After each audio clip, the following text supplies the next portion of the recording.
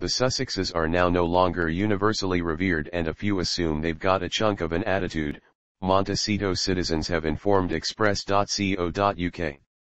The Duke, 38, and the Duchess of Sussex, 41, relocated to the star-studded neighborhood after leaving royal family obligations in 2020. The royal couple are raising their kids, three-year-old Archie and Lilibet, 1, at their sprawling chateau. The residence is stated to boast a personal gym, cinema, spa, and tennis court, in addition to Archie and Lilibet's personal playground.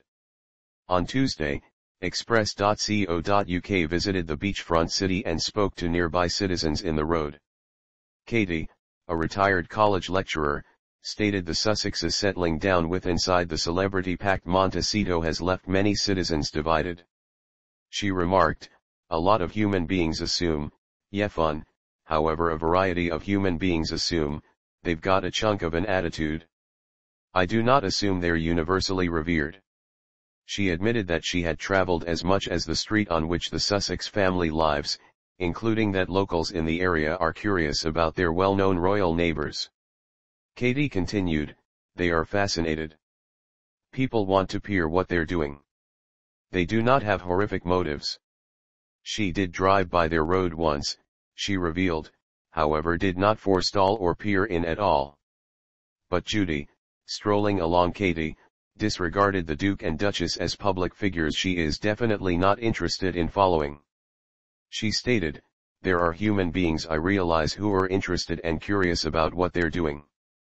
But I do not have any precise want to discover more about them. However Dave Kanarek, a sports sale consultant in Santa Barbara City, informed Express.co.uk that he has not without a doubt heard a whole lot about Harry and Meghan going about their lives in the neighborhood area. He stated from outside his workplace, Mountain Air Sports, that the Duke and Duchess preserve themselves to themselves. He continued, that's why they stay right here. It is a quite mellow city. It is likewise one wherein the citizens deal with the celebs who stay right here similar to anyone else but new reviews advise the Duke and Duchess will be trying to relocate from Montecito, which boasts celebrities along with Gwyneth Paltrow, Orlando Bloom, and Ariana Grande. The couple could be eyeing up the specific network of Hope Ranch, a count of miles down the street from their cutting-edge residence. But royal biographer Tina Brown stated the Great Rich Hope Ranch could be an entirely one-of-a-kind game for the Sussex family. She stated at some point of the Henley Literary Festival, in Montecito, their $14 million mansion is a humble cottage in comparison to what these other people have.